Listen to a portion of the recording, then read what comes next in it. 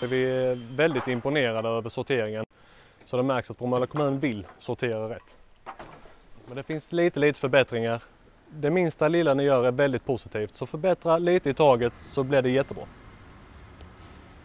Vi ser fortfarande lite gröna påsar i matavfallen, så det får ni gärna skippa. Ingen plast i matavfallen. För plast bryts inte ner lika lätt, så det blir jättesvårt.